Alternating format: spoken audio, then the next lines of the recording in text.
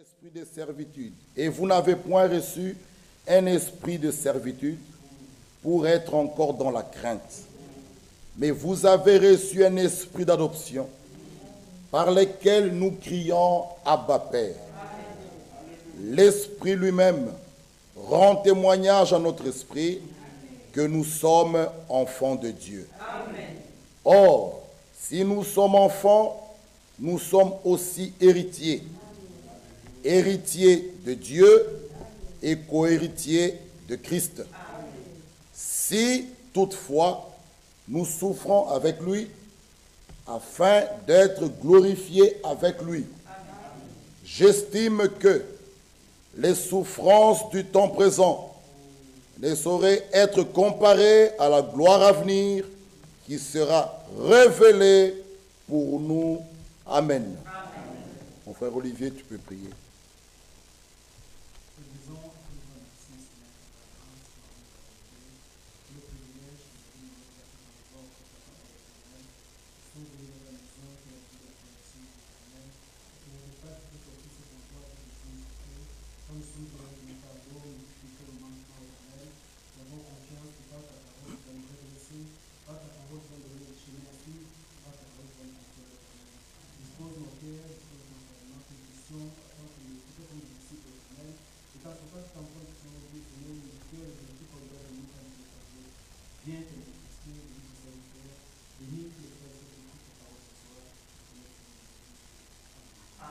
Amen. Que Dieu nous bénisse. Nous pouvons tous nous asseoir. Nous saluons ainsi nos frères et sœurs qui nous suivent en ligne dans ce nom merveilleux de notre Seigneur et Sauveur Jésus-Christ. Que notre Dieu soit loué pour tous les bienfaits qu'il fait parmi nous et qu'il est en train de faire parmi ses enfants, dans ses enfants, que Dieu soit loué. Il est celui qui nous bénit, il a pour nous les projets de bonheur et de paix. Dieu est au contrôle de tout. Nous devons lui faire confiance, il est celui qui nous aime. Il nous a aimés le premier, celui qui nous a cherchés. Comme Adam, le jour qu'Adam était tombé, c'est lui qui alla à la recherche d'Adam. Adam, Adam, où es-tu? Il nous connaît par nos noms. Soyons certains de Dieu, que Dieu nous connaît que Dieu te connaît, que Dieu t'aime, Dieu t'a choisi, Dieu t'a élu, Dieu t'a béni, il t'a prédestiné à la vie. Il faut être certain de Dieu. Ce n'est pas un hasard pour toi d'être en ces lieux, c'est la grâce de Dieu.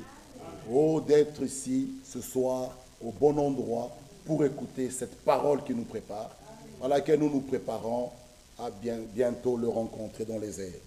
Le départ est pour très bientôt.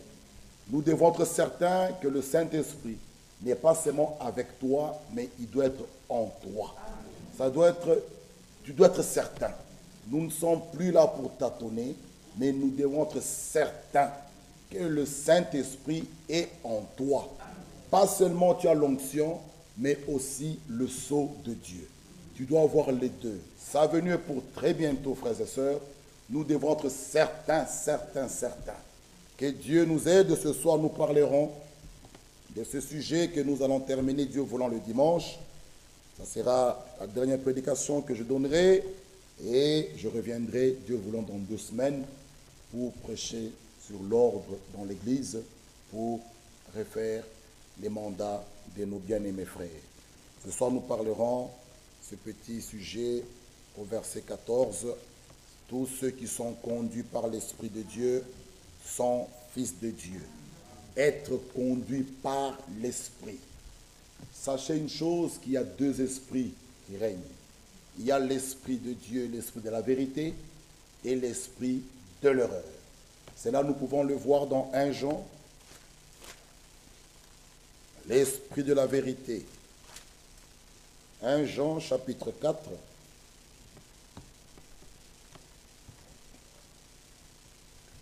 Bien-aimés, n'ajoutez pas foi à tout esprit. Il ne faut pas ajouter foi à tout esprit. Il y a deux esprits. L'esprit de la vérité et l'esprit de l'erreur. Il ne faut pas dire toujours Amen Il faut être comme les disciples de Béret. Vérifiez ce qui vous est prêché, ce qui vous est dit, ramenez cela à la parole, et si cela est conforme aux saintes écritures, cela vient de Dieu. L'esprit de vérité ne peut pas nous conduire en dehors de la parole. L'esprit de vérité. Ici l'écriture dit, n'ajoutez pas foi à tout esprit, mais éprouvez les esprits. Quelqu'un peut venir, moi, éprouvez les esprits. Celui qui est conduit par l'Esprit de Dieu, qui est le Saint-Esprit, n'est pas agité. Même si quelque chose qui n'est pas normal est prêché en ces lieux, il est calme. Parce qu'il sait une chose, que les élus ne seront jamais séduits. Pourquoi tu es agité? Si tu es réellement élu, même si on prêchait quelque chose qui n'est pas correct, tu es, pourquoi es-tu agité? Il y a quelque chose de faux. Si tu es réellement élu, tu ne peux pas être séduit. La Bible dit si c'était si c'était possible, aux conditions de si, mais ce n'est pas possible qu'un élu soit séduit. Ce n'est pas possible, ça n'arrivera jamais. Un élu ne peut pas blasphémer. J'ai toujours dit, tout comme le chien ne peut pas rire, sans faire aucun effort, même si vous tombez devant le chien, il va te regarder comme ça. Le chien est appelé à aboyer. Il ne peut pas rire. Un enfant de Dieu, un élu, ne peut pas blasphémer. Un élu. Les élus ne seront jamais séduits. Soyez certains de Dieu. Vous êtes de quel côté? Celui qui est conduit par l'Esprit de Dieu. Celui qui a le Saint-Esprit de Dieu en lui n'est pas agité. C'est un homme calme. Comme j'ai toujours dit, il a des amortisseurs pour amortir les chocs. Tu n'es pas agité, agité, l'agitation. Non. Les élus sont calmes. Éprouvez les esprits. Éprouvez les esprits. Et celui qui a le Saint-Esprit peut regarder et dire non, cet esprit ne vient pas de Dieu. Qui que tu sois. Souvenez-vous des pierres. Dans Matthieu 16. Qui dites-vous que moi je suis? Là, c'est Jésus qui pose la question. Les disciples étaient devant Jésus. Pierre seul a reçu la révélation. Il dit, tu es le Christ, le Fils du Dieu vivant. Jésus prend la parole et dit, tu es heureux, Simon, fils de Jonas. Ce ne sont pas la chair et le sang qui te l'ont révélé, c'est mon Père qui est dans les cieux qui te l'a révélé. Quelques versets plus, loin, Satan va visiter Pierre. Il donne à Pierre quelque chose. Jésus parlait de sa mort. Jésus parlait. Pierre le répond. Il dit, oh non, non, non, non. À Dieu ne plaise. Cela ne peut pas t'arriver. Jésus pouvait, il pourrait discerner, dit ça, cet esprit ne vient pas de Dieu. Arrière de moi, Satan. Éprouvez les esprits. Tu peux être un élu. Si tu ne fais pas attention, tu peux aussi être visité. C'est pourquoi gardez votre place, frères et sœurs. Ne sortez pas de la parole. Même dans les épreuves, restez dans la parole. Même dans la joie, restez dans la parole. Oh, on est joyeux. Oh, tu vois quelqu'un qui a des jumeaux ou, trois enfants triples. Et il commence à dire, reste dans la parole la joie ou la tristesse ou le, les, deuils ne doit pas nous enlever de la parole. Vous resterez toujours dans la parole. Nous ne voulons voir rien d'autre que la parole. Dieu a béni nos enfants. Amen. Mais restons dans la parole. Que la joie ne vous enlève pas de, la parole. C'est quel esprit? C'est quel esprit? L'esprit de la vérité, l'esprit de Dieu nous conduira toujours dans la parole. Tu es triste, tu resteras là-dedans. Nous le verrons. Job a été frappé par des douleurs. Mais Job n'est pas sorti de la parole. Job n'a pas jugé, n'a pas condamné Dieu. Oh Dieu, tu n'as pas d'amour. Oh Dieu, oh non. Il a dit quelque chose. Il a donné. Il a repris. Que son Seigneur soit loué. Il est resté dans les voies de Dieu. Éprouver les esprits. Éprouver les esprits. Exact. Et l'Écriture dit, pour savoir s'ils sont de Dieu, car plusieurs faux prophètes sont venus dans le monde. Reconnaissez à ceci l'Esprit de Dieu. Tout esprit qui se déclare publiquement pour Jésus-Christ, venu en chair, est de Dieu. Et tout esprit qui se déclare publiquement pour Jésus n'est pas de Dieu. C'est celui de l'Antichrist, dont vous avez appris la venue et qui maintenant est déjà dans le monde. Vous, petits enfants, vous êtes de Dieu et vous les avez vaincus parce que celui qui est en vous est plus grand que celui qui est dans le monde. Eux, ils sont du monde. C'est pourquoi ils parlent d'après le monde. Et le monde les écoute. Eux, ils ont leur langage. Jésus dit dans Jean 8 aux pharisiens, pourquoi ne comprenez-vous pas mon langage? Pourquoi? Il avait un langage spirituel. Le monde a son langage. Les enfants de Dieu ont leur langage. Jésus, il avait un langage spirituel que les pharisiens ne pouvaient pas capter. Mais dans Jean 10, il nous dit, mes brebis entendent et connaissent ma voix. Les enfants de Dieu, oh bien-aimés frères, ils captent la voix du bon berger. Et ils sont du monde. Ils parlent d'après le monde et le monde les écoute. Ils ont leur langage, les gens du monde. Si vous le suivez à la télévision ou bien dans les rues, ils ont leur langage. Oh, nous trouvons aussi parmi nos jeunes, les gens, allez prendre les langages des gens du monde et vous les ramenez ici, vous parlez, vous, vous mettez... Non, vous êtes les enfants de Dieu. Ne prenez pas le langage du monde. Laissez le monde avec son langage. Laissez le monde avec leurs histoires. Vous êtes les enfants de Dieu. Et le monde les écoute. Parce que le monde reconnaît ce langage-là. Aujourd'hui, tous les jeunes, presque, la Bible dit dans Romains 12, ne vous conformez pas au siècle présent. Tous les jeunes ont, leur ont pris le langage du monde le langage du monde, le langage des jeunes. Ne prenez, ne prenez pas, n'entrez pas là-dedans. Vous êtes les citoyens des cieux.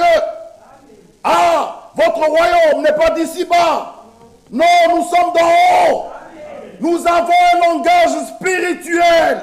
Jésus l'a dit, pourquoi ne comprenez-vous pas mon langage? Oui, celui qui est né de Dieu capte le langage de Dieu. Eux, ils sont du monde et le monde les écoute. Vous, vous n'êtes pas du monde. N'aimez pas le monde, ni les choses qui sont dans le monde. Sortez du monde. Il continue. Nous, nous sommes de Dieu. Celui qui connaît Dieu nous écoute.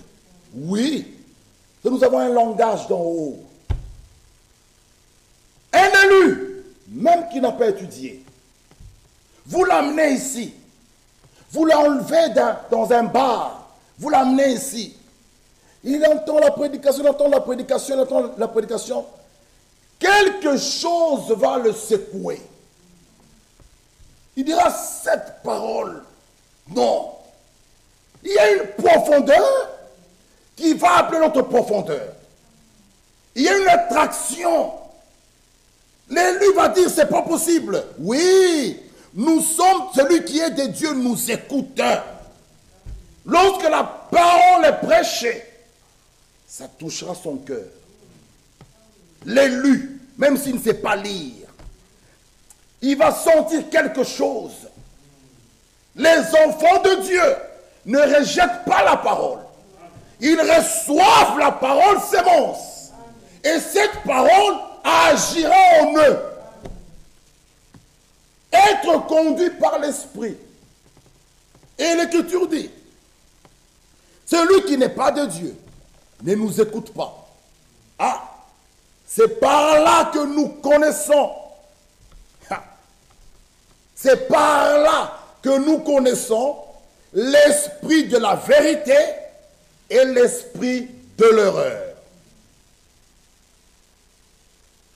Il y a deux esprits. L'esprit de la vérité et l'esprit de l'erreur. Mais dans Romains 8, il nous est dit ici,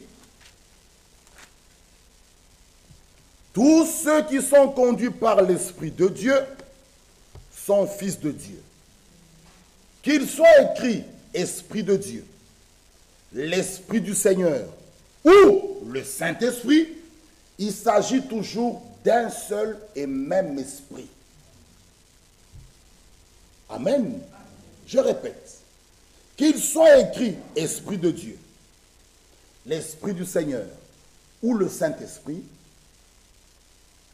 ce n'est pas... Non, c'est le seul et le même esprit. Lisons d'abord dans Jean 4. Jean chapitre 4. Jean 4, 24. Jean 4, 24. Lisez avec moi quelques écritures. Il s'agit toujours d'un seul et même esprit. Esprit de Dieu. Saint-Esprit. Esprit du Seigneur. Il s'agit toujours d'un seul et même esprit. Jean 4, 24. Lisons d'abord. Dieu est esprit. Et il faut que ceux qui l'adorent, l'adorent en esprit et en vérité. Amen. De Corinthiens. De Corinthiens chapitre 3, le verset 17.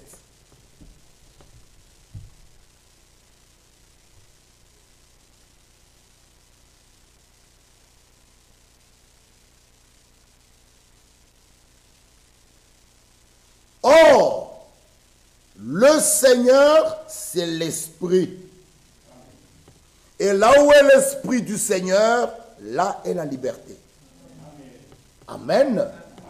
Vous voyez, Romains 8 nous parle l'Esprit de Dieu.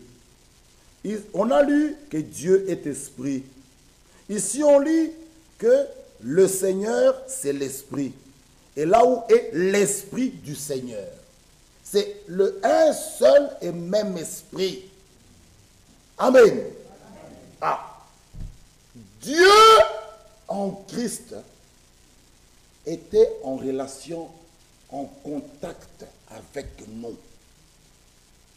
Par l'Esprit de Dieu, nous nous entrons en relation avec lui. Dieu qui était en Christ, il est venu se réconcilier en nous. Mais par son esprit, par l'esprit de Dieu, nous sommes en relation avec lui. Voilà pourquoi, réalisons Romains. Nous devons, nous voulons maintenant entrer dans notre sujet. Romains 8.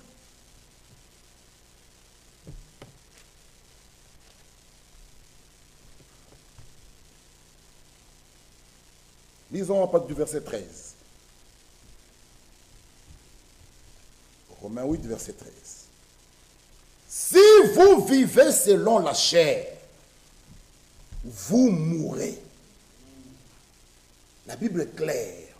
Si vous vivez selon la chair, vous mourrez.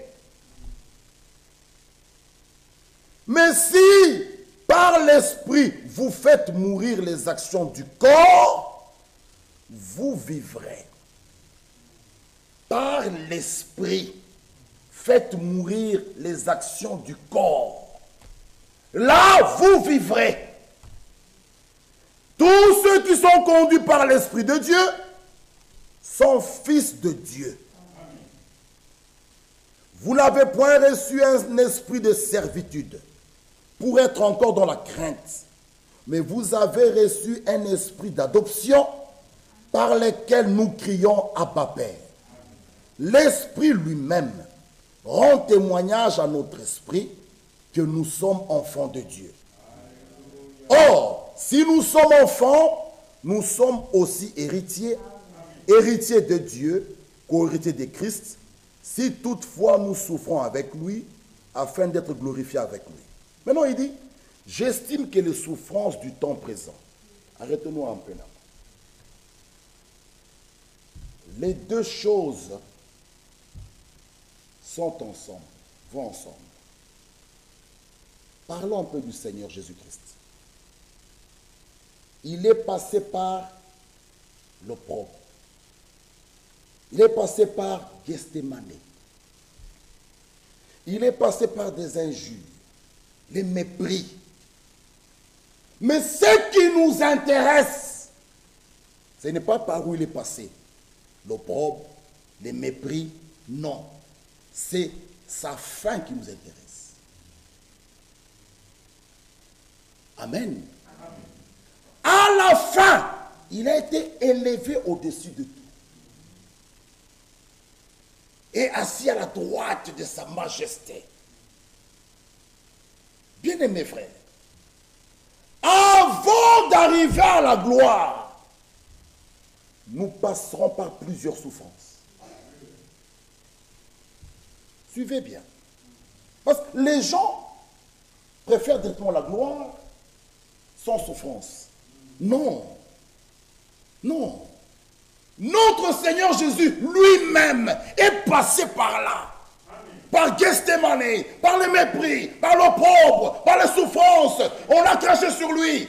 Mais à la fin, élevé au-dessus de tout. Nous aussi, nous passerons par les souffrances, par les tribulations, par les maladies, par les épreuves. Alors l'Écriture dit, les souffrances du temps présent ne sauraient être comparées à la gloire à venir.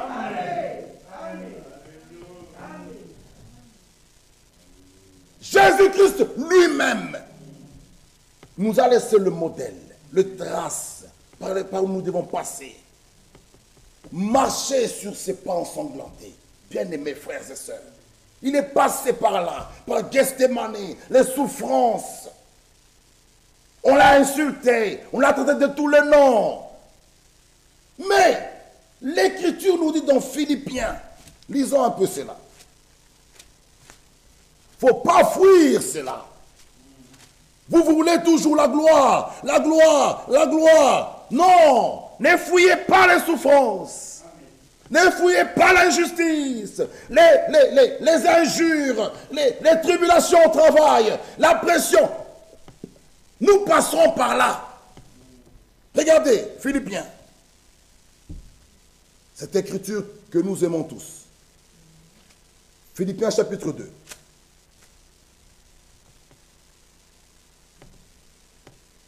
Ayez en vous, le verset 5. Ayez en vous les sentiments qui étaient en Jésus-Christ. Existant. Existant en forme de Dieu. Il n'a point regardé son égalité avec Dieu comme une proie arrachée. Mais il s'est dépouillé lui-même en prenant une forme de serviteur, en devenant semblable aux hommes. Il a paru comme un vrai homme. Il s'est humilié lui-même, se rendant obéissant jusqu'à la mort, même jusqu'à la mort de la croix. C'est pourquoi aussi Dieu l'a souverainement élevé et lui a donné le nom qui est au-dessus de tout le nom, afin qu'au nom de Jésus, que tout genou fléchisse. Les deux choses vont ensemble. Suivez. Avant que la gloire vienne, nous devons d'abord passer par là.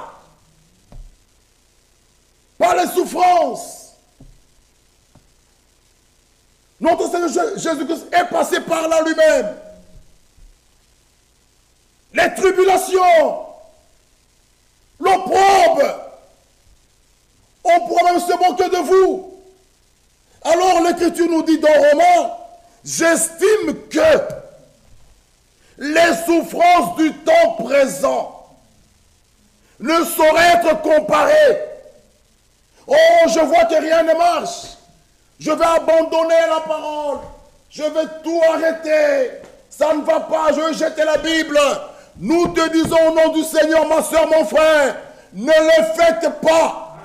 Les souffrances du temps présent ne sauraient être comparées à la gloire à venir qui sera révélée pour nous. Ce qui nous attend est plus merveilleux que les souffrances par lesquelles tu traverses. Qu'elle est bon. Qu'elle est bon. S'il faut mourir, mourrez. Si nous mourons, c'est pour lui. Si nous vivons, c'est pour lui.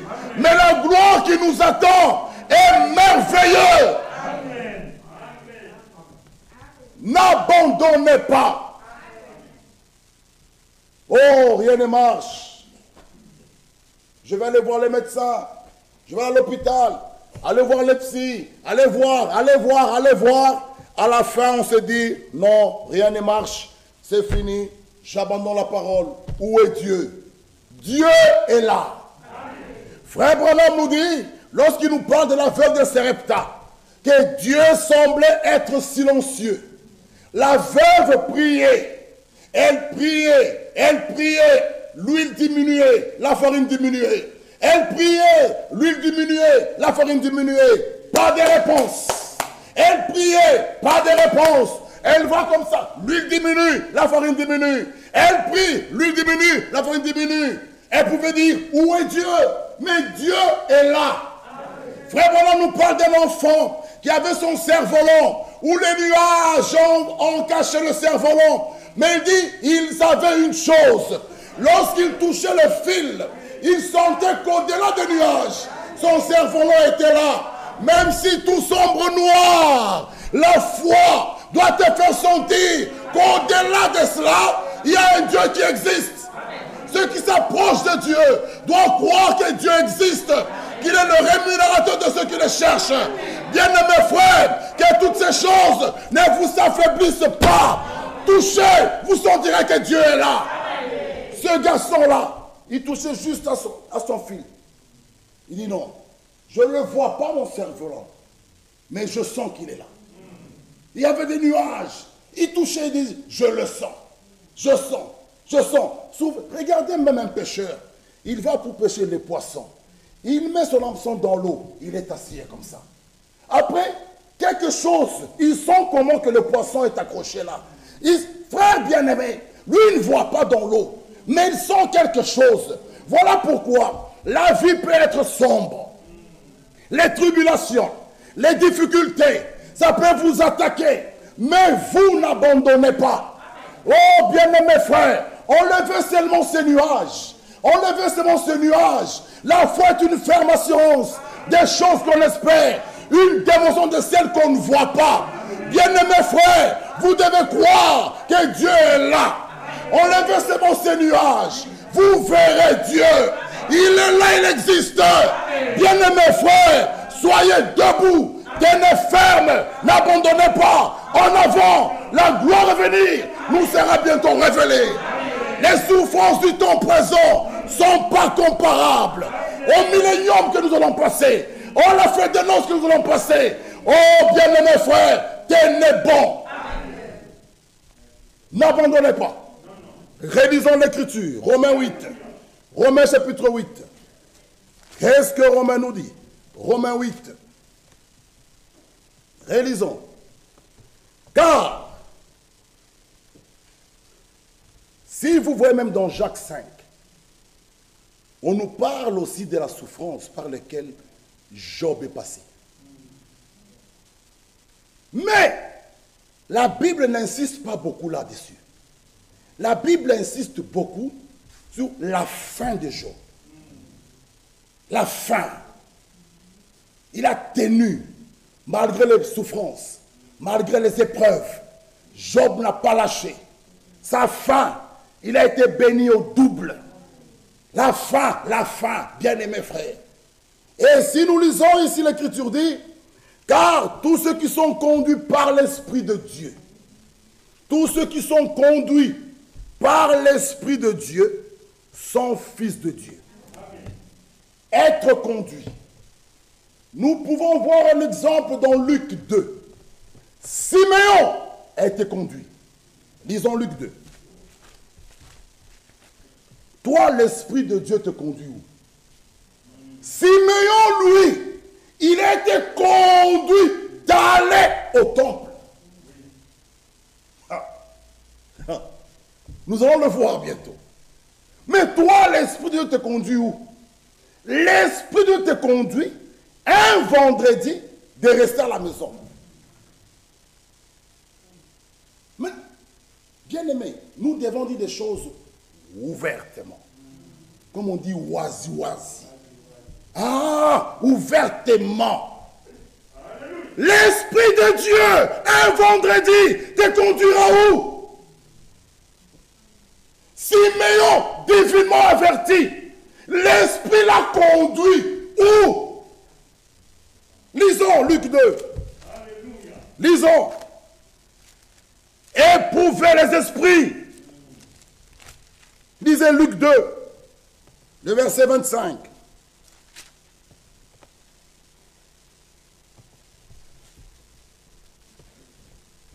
Voici, il y avait à Jérusalem un homme appelé Siméon. Cet homme était juste et pieux. Il attendait la consolation d'Israël et l'Esprit Saint était sur lui. Il avait été divinement averti le Saint-Esprit qu'il ne mourrait point avant d'avoir vu le Christ du Seigneur. Le Saint-Esprit l'a averti. Il dit, Siméon, tu ne mourras pas avant que tes yeux ne voient le Messie.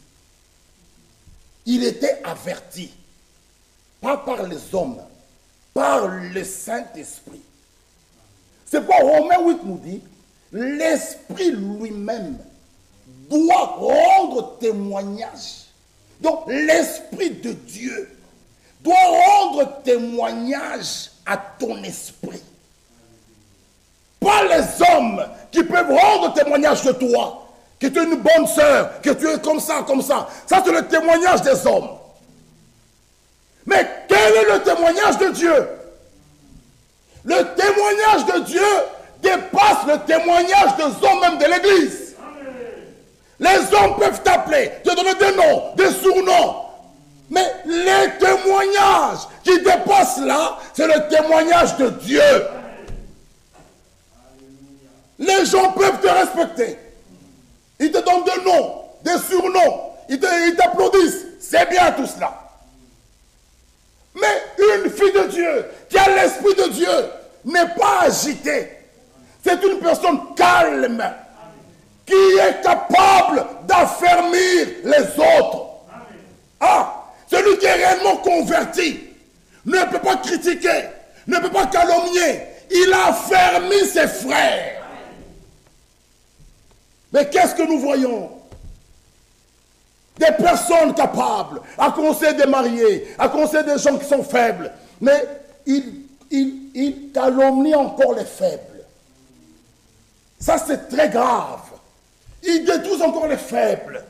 Mais Jésus a dit à Pierre, quand tu seras converti, toi Pierre, affermis tes frères. Ne les détruis pas.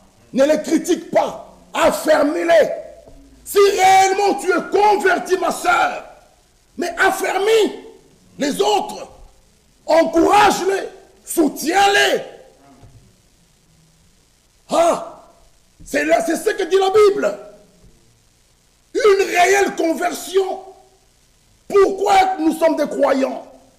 Pour nous rendre la vie dure les uns les autres? Pour conduire avec des clans et des groupes? Non! Jusqu'à quand cet esprit des clans et des groupes va-t-il continuer? Jusqu'à quand? Ça, ce n'est pas l'esprit de Dieu. Ça n'est pas l'esprit de Dieu. L'esprit de Dieu nous appelle à l'unité. L'esprit de Dieu nous conduit à la parole. Et la parole, c'est être un. Jusqu'à quand? Et c'est la parole. Regardez un secret. À la Pentecôte, dans la chambre haute, ils étaient tous dans un seul lieu. Et la Bible dit d'un commun accord. Il n'y avait pas de clan. Non. Et le Saint-Esprit est descendu sur le 120. Personne n'a raté. Il n'y avait pas de clan. Non. Le Saint-Esprit nous amènera à l'unité. Une personne convertie va affermir les autres. Quelle est votre conversion à vous Qui continue à détruire, qui continue à critiquer, qui continue à calomnier? Frère, écoutez, nous, nous sommes censés, même si mon frère Olivier, je prends un exemple, ne me demande pas pardon, moi, je suis dans l'obligation, moi, moi, de le pardonner. Et je ne réclame pas le pardon. Non. si je veux que Dieu pardonne mes péchés, selon Matthieu, je dois, moi, même s'il ne vient pas, avant même qu'il vienne, je l'ai déjà pardonné. Et étant converti, je dois l'affermir. Mais qu'est-ce que nous nous faisons? Qu'est-ce que nous nous faisons? Si la personne ne demande pas pardon, c'est son problème avec Dieu. Quelle est ta part? Quelle est ta part? Les hommes peuvent te trouver sage, mais Dieu te voit comment? Dieu du ciel te voit comment? Dieu te voit comment, ma soeur Dieu, maintenant là, quand il nous regarde, il nous voit comment? C'est pourquoi ne cherchez pas à convaincre les hommes. Ne cherchez pas à tirer les hommes vers vous. Ne cherchez pas à vous faire applaudir. Non, l'Esprit lui-même doit rendre témoignage à ton esprit que tu es enfant de Dieu. Cela suffit. Même si les hommes te rejettent, c'est entre toi et lui. Ne cherchez pas à te faire applaudir, à te faire aimer par les hommes. Non. Comme tout le monde même, tu as ton quartier général. Souvenez-vous de Vasti. Qu'est-ce qui s'est passé? Le roi l'appelle. Elle avait son quartier général. Elle était là. Il dit, moi aussi j'ai mon quartier général. Non Dans l'assemblée des saints, femmes taisent. Se taire, ce n'est pas dire n'interprétez pas encore. Que Frère Michel a dit on doit se taire, non.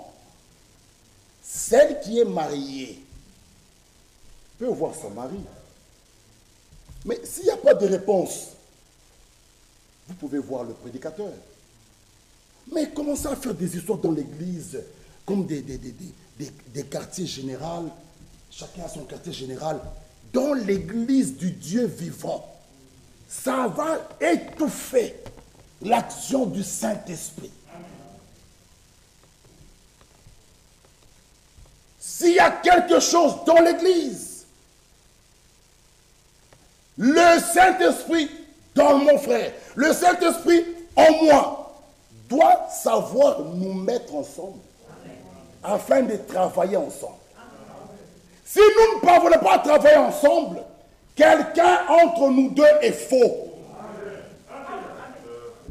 Quelqu'un entre nous deux est faux. Je ne peux pas avoir le Saint-Esprit. Mon frère Jean-Claude, le Saint-Esprit. Tu nous as le Saint-Esprit et nous ne savons pas travailler ensemble. Non Non Ça c'est faux, c'est faux, c'est faux. Si nous l'avons, nous serons en mesure. Nous allons aller au-dessus même de nos sentiments humains. Nous serons en mesure d'être ensemble, de travailler ensemble pour le même but, pour la même cause. Mais si ça ne va pas, quelqu'un entre nous est faux. Quelqu'un est faux. C'est pourquoi le Saint-Esprit, pourquoi nous devons l'avoir? Lisez même dans Acte 6. C'était la condition sine qua non pour établir les diacres. Parce que le Saint-Esprit, lorsque vous l'avez, ça mettrait en harmonie. Et vous savez, quand je presse là, mes frères là, ils là où peut-être moi je m'arrête, peut-être il dit, mais qu'ils disent un peu ça. Je ne dirai pas ça. Il faut que lui qui vient le dire. Lui, quand il va monter à la chair, je vais dire, mais Jean-Claude, il ne dira pas ça. C'est chose qui viendra à l'ajouter. Tu nous as prêt, je dis, mais dis ça. Il dira, ça, chacun, frères et sœurs, c'est pourquoi nous formons cette équipe-là, nous devenons forts. Mais lorsque vous êtes divisés dans des petits coins, nous on fait ça. Nous, nous sommes le groupe de ça. Nous, nous sommes le groupe d'ici. Nous, c'est ça. Nous, c'est fini. Et Satan s'infiltre. Écoutez, je n'ai pas, je n'ai pas la... Je vais vous le lire dimanche. Je vais vous le lire dimanche. Je vais vous le lire dimanche à ce que je l'ai. Frères et sœurs, que Dieu puisse nous aider. Être conduit par l'Esprit. Être conduit.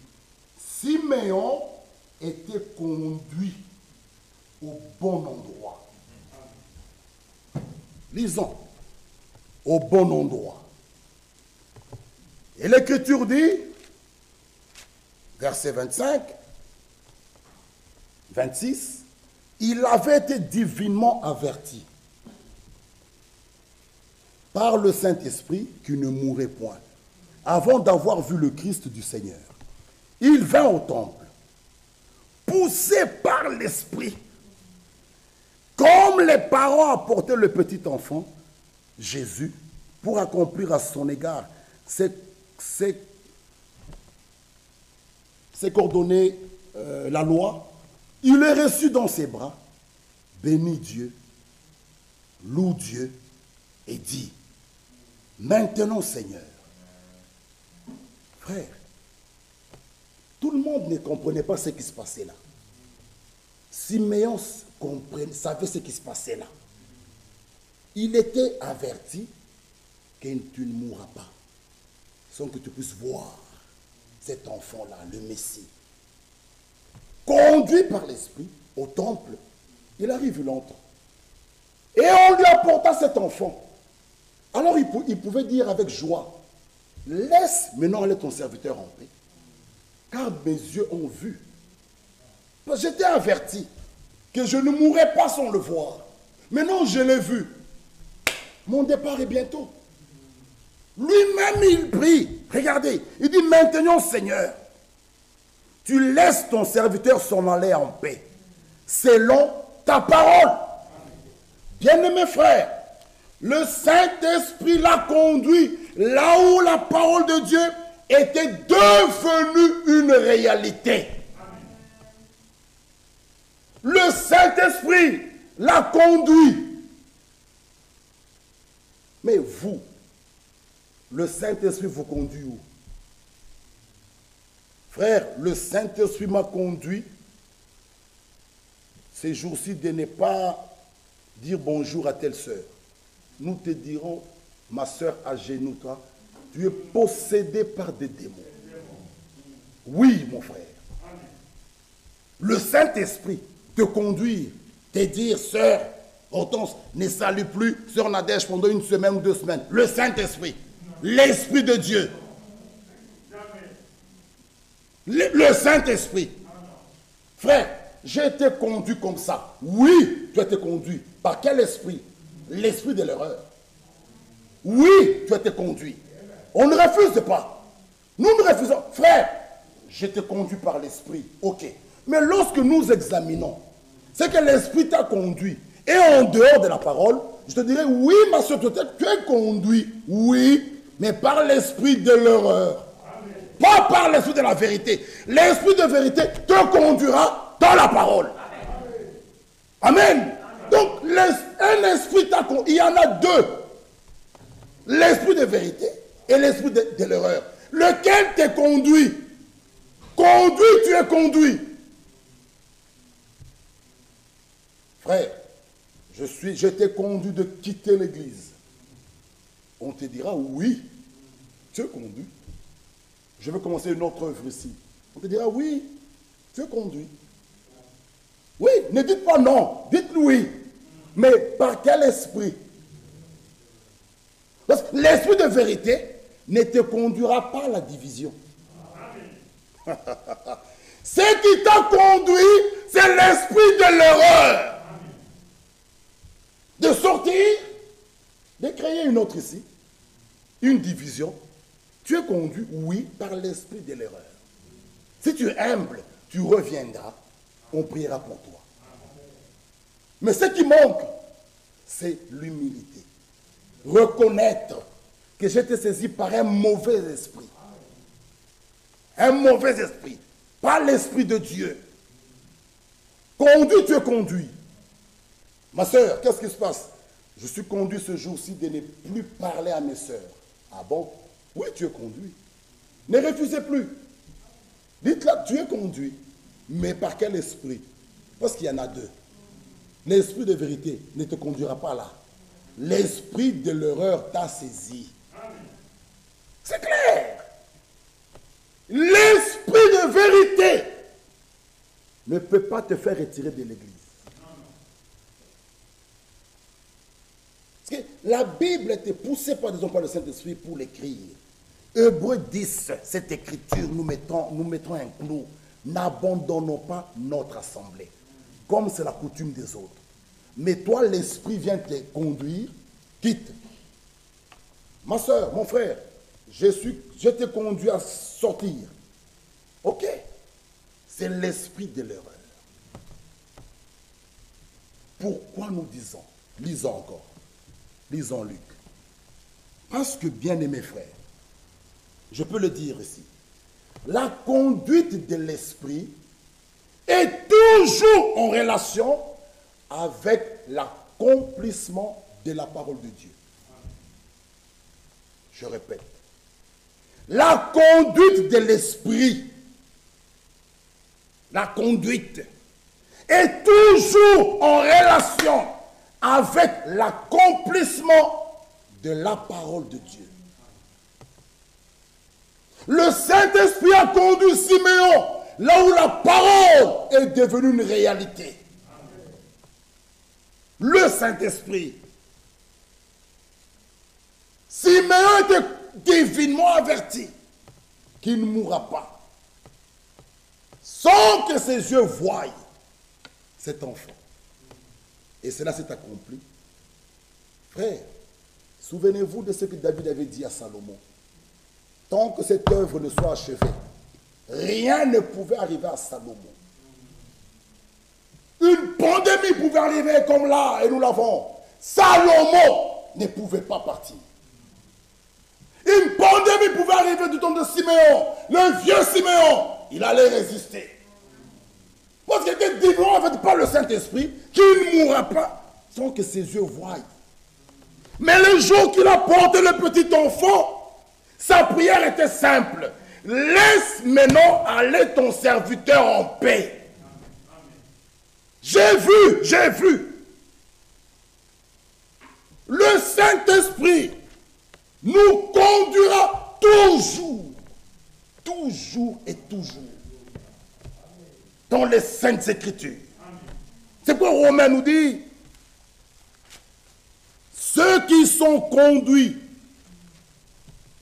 par l'Esprit de Dieu sont fils de Dieu. Vous n'avez point reçu un esprit de servitude pour être encore dans la crainte. Mais vous avez reçu un esprit d'adoption. L'esprit d'adoption nous établit comme des enfants de Dieu. Cet esprit nous fait crier en nous, Abba Père. Ah. Nous reconnaissons Dieu en tant que notre Père. Frère, celui qui est né de nouveau, Dieu est son Père. Par la nouvelle naissance, nous recevons l'esprit d'adoption, qui n'est pas encore l'adoption. Et cet esprit d'adoption nous fait reconnaître Dieu, ton Père. La nouvelle naissance, nous, être, être, être engendré par la parole et par l'esprit. Dieu, ton Père, Jésus, le Fils de Dieu engendré, nous a appris comment prier. Notre Père qui est aux cieux. Moïse ne l'a jamais fait, ni Abraham. Jésus nous a montré l'exemple. Ce soir, lorsque nous allons prier, invoquez-le, mon Père, notre Père qui est aux cieux. C'est pourquoi il dit, je ne vous laisserai pas orphelin. Un orphelin, celui qui n'a pas de père, pas de parents. Mais nous, il dit, je ne vous laisserai pas. Et regardez ce qu'il nous dit dans Jean. Cette écriture me vient. Regardez ce qu'il nous dit dans Jean, Jean 16. Il a dit encore les deux choses ici. Jean 16. Jean 16, le verset 7. Jean 16, 7.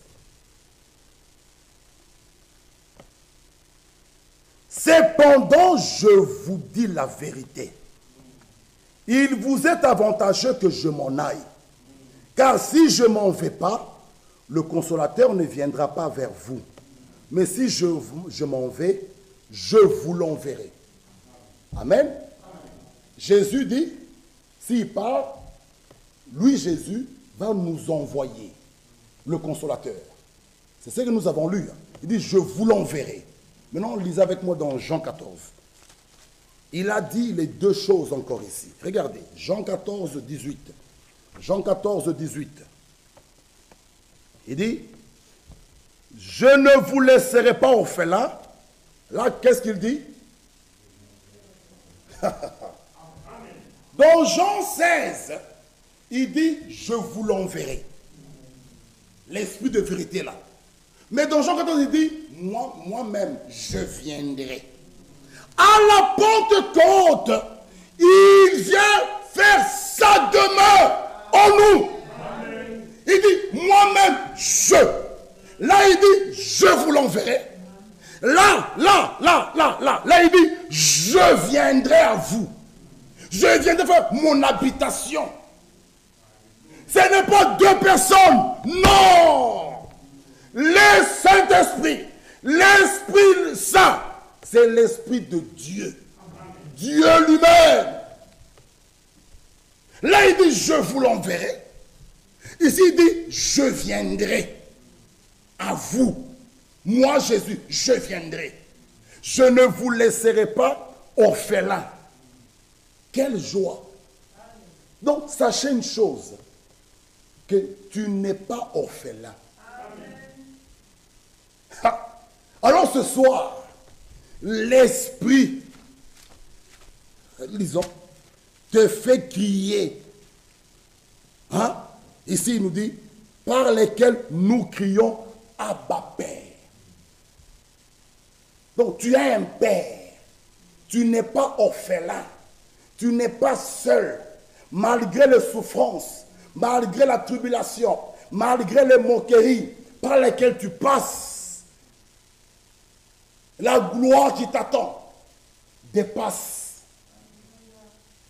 Jésus lui-même est passé par là, par Gethsemane, par les moqueries. Oh, toi qui as sauvé les autres, sauve-toi et sauve-toi et sauve. Oh, voilà le roi des Juifs. Oh, des moqueries. Acceptons aussi ces moqueries-là. Il dit, on vous haïra sans cause. Oui, on vous haïra sans cause, même dans ta propre famille. Il te regarde. Qu'est-ce que tu as fait? Qu'est-ce que tu as fait? Mais juste il te regarde, il te dit, ta tête ne les plaise. Qu'est-ce que tu leur as fait? Ils tailleront sans cause. C'est ce qui est écrit. À cause de son nom, on va vous persécuter. Mais il a été dit, même un de vos cheveux, bien-aimés frères et sœurs, il a été dit. C'est pourquoi un enfant de Dieu est un petit Dieu. Ils vont tailler son cause. Ils te feront la guerre, mais ils ne vont pas t'atteindre. Ils ne vont pas t'atteindre. Ta belle famille, tes beaux-frères, les voisins, tes frères, même ta propre famille. Ils vont te voir, ils vont faire un faux sourire. Mais sache une chose, ils t'atteindront jamais. Reste seulement dans la parole. Toute malédiction sans cause et sans effet. Restez seulement dans la parole. Dans les voies de Dieu. Eux, ils vont taillir, mais toi, aime-les. Eux, ils vont te faire la guerre. Toi, ne les fais pas la guerre. Prie même pour eux. Ce sont des charbons que tu amasses sur leur tête. Ils vont dire, ils vont dire, ils se prennent pour qui? Non, je me, me prends pour rien. Mais juste la bénédiction de Dieu qui est visible, ils vont taillir. Souvenez-vous de Joseph. Qu'est-ce qu'ils ont fait de lui? La jalousie. Ils l'ont haï, ils l'ont vendu. Mais Joseph était un élu de Dieu. Malgré le mal, lorsque Joseph les a eus, il n'a pas dit voilà, mon tour vient, on va prendre l'épée, on va les tuer. Non, non. Joseph les a aimés. Joseph les a même pris. On l'a donné à manger. À la fin, il a laissé tout le monde dans la grande salle. Son cœur non, ne supportait pas. Il dit non, je vais rester dans ce jeu jusqu'à quand? Je vais aller me révéler à eux. C'est ce que Christ fera. Il nous laissera là, à la fête des noces. Il descendra seul pour se révéler à ses frères. Il dit, c'est moi. Vous voyez, je suis là. Oh, mais il est écrit dans Jérémie, je t'aime d'un amour éternel. Cet amour-là, frère, malgré les circonstances, ça ne diminue pas, ça ne périt pas. Le vrai amour divin ne périt jamais. Même si ceux qui te font la guerre, toi tu continueras à les aimer. Parce que tu n'as pas, tu ne peux pas les, les haïr. Ce n'est pas, pas en toi ça. En toi il y a la parole. Et comme il y a la parole, tu ne peux que les aimer. Continue à prier pour eux, frère. Malgré les souffrances, Jésus la croix, il pouvait dire, Père, pardonne-leur. Ils savent ce qu'ils font. Jésus ne savait pas les détruire. Il les aimait toujours. Toi aussi, continue à les aimer. Continue à les aimer. Colossiens 1. Et terminons par là. Colossiens chapitre 1, le verset 9.